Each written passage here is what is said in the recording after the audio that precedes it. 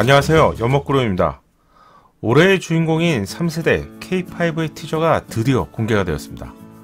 관심이 있는 분들이라면 이미 티저를 보셨을 것 같은데요.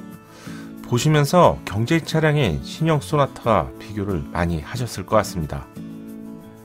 연목구름도 꼼꼼하게 비교해보면서요 3세대 K5의 높은 경쟁력 때문에 이 정도라면 신형 소나타와 제대로 한번 경쟁에 볼만하겠다는 생각을 하게 되었습니다. 영상을 시청하기 전에 구독을 부탁드립니다. 신차 소식을 빠르고 정확하게 받아볼 수 있습니다. 그리고 주변에 도움이 필요하신 분들이라면요. 공유도 함께 부탁드립니다. 먼저 보실 부분은 이전 영상에서 유출된 중국형 K5의 디자인을 세부적으로 알려드렸었죠. 당시 사진이 광각으로 촬영된 이미지라서요 왜곡이 많았습니다. 마치 높은 정보는 SUV를 보는 것 같죠. 왜곡을 줄인 사진을 함께 비교해 드리기 위해서 작업을 해봤는데요. 왜곡이 줄어드니 훨씬 잘생긴 얼굴을 보여주는 것 같습니다. 이번에 공개된 티저 이미지를 보면서요. 왜곡된 부분을 그림판을 이용해서 조금 조절해 봤는데요.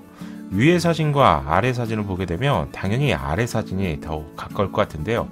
SUV와 같았던 디자인이 스포츠 세단처럼 스포츠 쿠페처럼요 변신한 점을 알 수가 있습니다.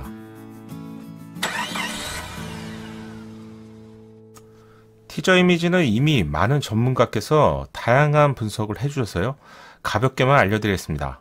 다만 이렇게 알려드리는 이유가 있는데 제가 생각했던 몇 가지 디테일을 말씀해 주시는 분들이 별로 없었기 때문에요. 그러한 차이점만 간단하게 알려드리겠습니다.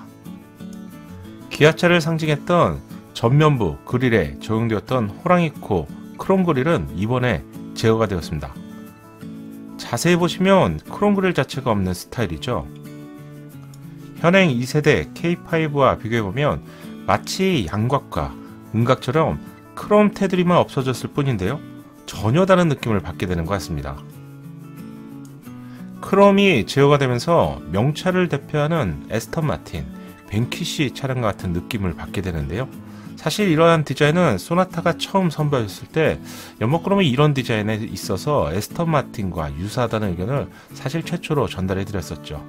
이후 다양한 전문가들께서요 유사하다는 말씀을 공통적으로 해주시면서요 무려 10배 이상 비싼 가격에 구입할 수 있는 벤키시와 오해를 풀 수 있었습니다. 또 다른 디자인 특징은 호랑이 코 디자인이 보닛과 범퍼에 적용된 것을 알 수가 있습니다. 현행 K5는 그릴을 감싸는 크롬에 호랑이 코 형상이 적용되어 있죠. 크롬 테두리가 사라지면서 보닛과 범퍼 형상이 호랑이 코 형상을 대변하고 있습니다. 호랑이 코 디자인은 기아차의 signature라고 할 수 있는데요. 디자인의 정체성을 이렇게 가지고 간다는 점은 정말 좋은 점이라고 생각하고요. 현대차보다 이런 부분에서는 분명히 기아차가 잘하고 있는 부분이라고 생각합니다. 경쟁 차량인 소나타와 디자인을 비교해보면요. 두 차량이 공통적으로 그릴에 크롬 테두리가 없는 디자인이 두 차량 모두 적용되었습니다.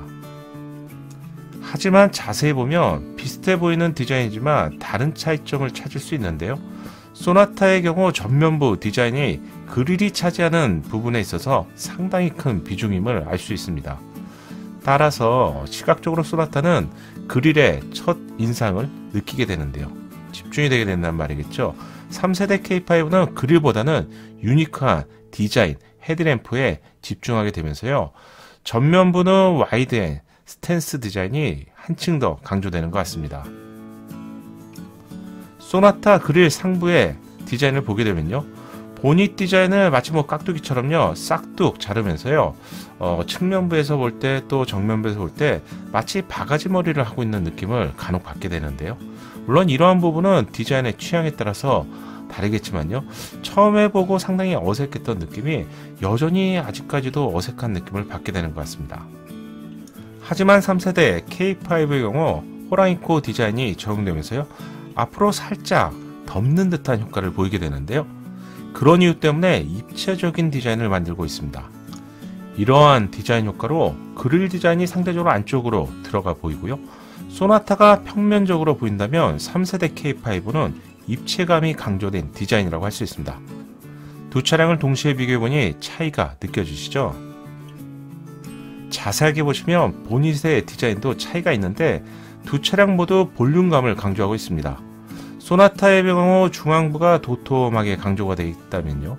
K5는 바깥쪽으로 볼록한 볼륨감을 강조하고 있습니다. 덕분에 3세대 K5는 마치 어깨가 넓은 남자를 보는 것 같은 느낌을 받게 되는데요. 결론적으로 디자인의 몰입감과 속도감은 K5 쪽이 좀 더 뛰어난 것 같습니다. K5의 티저를 보면서 생각난 차량이 한 대가 있는데요. 바로 정기역 Z 작전에 나오는 키트입니다. 지금 제가 말씀드리는 이 말을 알아들으신다면 40대 아재가 맞습니다.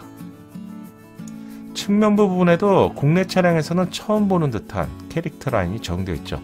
영상이 너무 길어질 것 같아서요. 측면부 캐릭터 라인 부분은 추후에 좀 더 세부적으로 한번 언급해 드리겠습니다.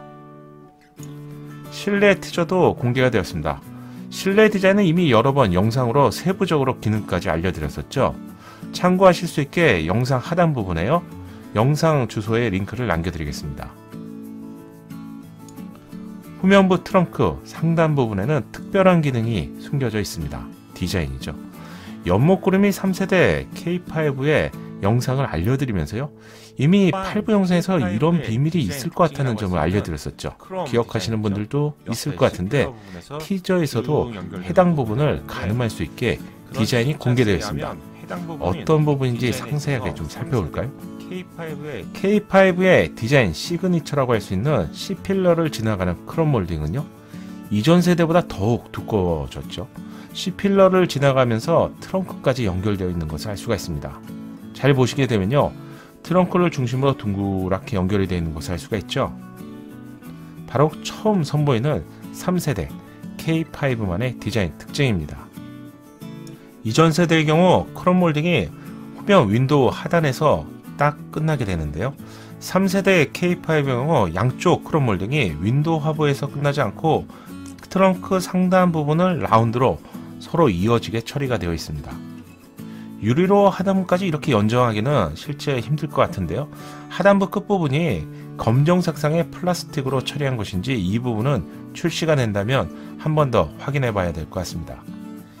이런 디자인이 적용될 것 같다고 8부 영상에서 미리 말씀드렸기 때문에 사실 이번에 정식 공개된 티저를 보면서 연목구름이 가장 먼저 확인했던 부분은 전면부 그리고 실내도 아닌 후면부 디자인이었습니다.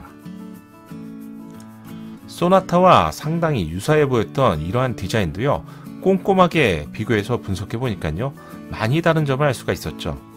이번 K5에 적용된 디자인은 소나타보다도 훨씬 파격적이고요.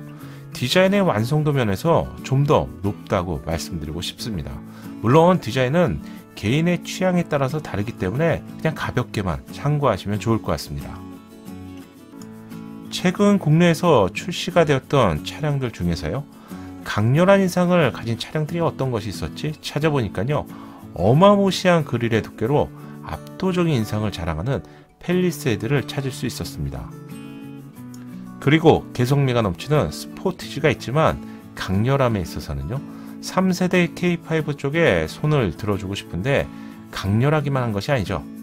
얼굴도 잘생겼기 때문에 이 정도 디자인이라면 누가 보더라도 다시 한번 쳐다볼 만큼 인상적인 디자인입니다.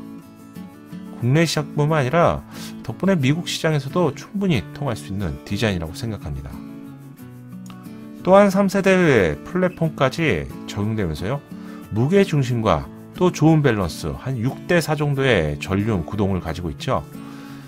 이 정도라면 글로벌 유수 차량과 비교해도 경쟁에서는 사실 좀 우위가 있다고 생각이 되고요. 그리고 신형 소나타를 직접 시승해 보면서 어떤 내실 부분과 성능 부분도 충분히 검증을 받았기 때문에요. 디자인까지 좋은 평가를 받게 된다면 3세대 K5는 꽃길을 걷게 될 것 같습니다. 국내에서 신차 소식을 빠르고 정확하게 듣고 싶다면요. 구독을 부탁드립니다. 공간과 알림 설정까지 하시면요. 편하게 받아보실 수 있죠. 감사합니다.